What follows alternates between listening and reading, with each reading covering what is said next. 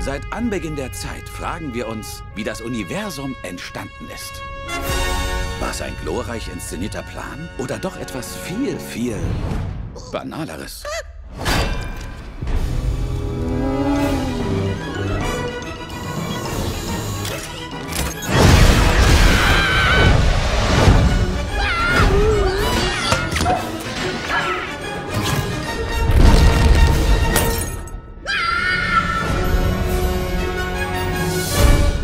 Der Wind unter meinen Flöhen, die Eilen in meinen Augen.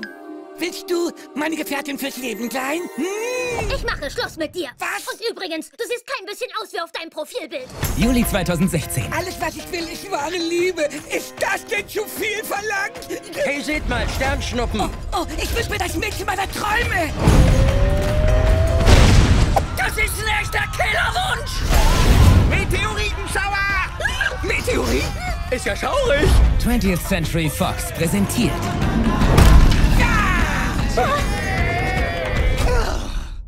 Oh, Leute, was geht ab? Buck, was machst du denn hier? Das ist erst der Anfang. Die Mutter aller Asteroiden rast auf uns zu. Wir gehen zur Absturzstelle, schauen es uns an und überlegen, wie wir das verhindern können. Wer ist mit dabei? Crash und Eddie treten an in Reihe und Glied. Glied? oh Mann. Uh, wir sehen so cool aus. Sieht das für dich nach einem Problem aus? Ah, das ist ja so hübsch. Oh. Könntet ihr mal auf... Money, Ellie, Sid, Diego, Buck und Scrat. Darf ich mal... Spaßbremse! Achtung! Weg hier! Ab in die Höhle! Beeilung, Oma! Jetzt mach so eine Hektik. Ich bin öfter vom Blitz getroffen hast. Ice Age, Kollision voraus. Sieht aus, als wär's vorbei. Ja, es ist definitiv vorbei. Bis auf den hier.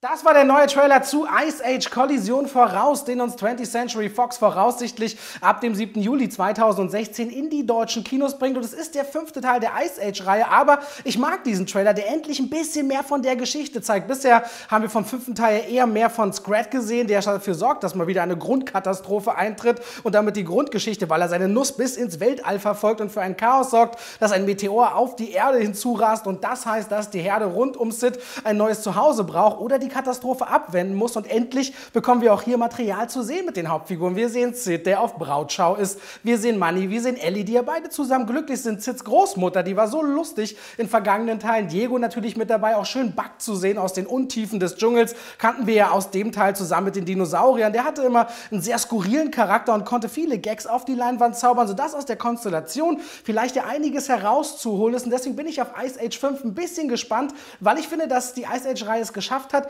ein gewisses Mindestniveau immer zu halten und damit eine schöne Fanbase aufbauen konnte weltweit. Und da muss man auf der anderen Seite aber auch sagen, dass es kunterbunt und hektisch und natürlich ein Animationsfilm für die ganze Familie, voraussichtlich natürlich in 3D dann in den deutschen Kinos wird. Aber wir 2016 auch verdammt starke Animationsfilme haben, auf die wir uns freuen können. Wir bekommen zum Beispiel Zoomania, wir bekommen Pets, auf den ich mich freue, wir bekommen Sing oder auch einen dritten Teil von Kung Fu Panda. Und ob er da in der Masse noch funktioniert, darf man hinterfragen. Aber auf jeden Fall hier so zur Fußball-Europameisterschaftszeit dann der fünfte Teil von Ice Age und endlich ein Trailer, der ein bisschen mehr von der Geschichte erzählt und diese plüschige Aufladungssequenz, wo Manny einfach nur aussieht wie ein riesenfetter brauner Igel, finde ich einfach niedlich und das kriegt mich, aber ich liebe ja auch Animationsfilme. Was sagt ihr dann zu diesem Trailer? Sagt ihr, ah, nicht mehr so meine Reihe, wo hat sich das hinentwickelt, schon der fünfte Teil oder versteht ihr, was ich meine, wenn ich sage, ach, so ein Wiedersehen mit denen kann immer mal wieder Freude machen, lasst es mich in den Kommentaren wissen und lasst gerne einen Daumen da. Wenn ihr diesen Trailer-Check mochtet, lasst es bleiben. Wenn nicht, ansonsten, das wisst ihr, gibt es hier noch ein paar Links um mich rum und morgen um 15 Uhr natürlich spätestens ein neues Video. Und bis dahin hoffe ich, ihr seid morgen wieder mit dabei. Natürlich um drei.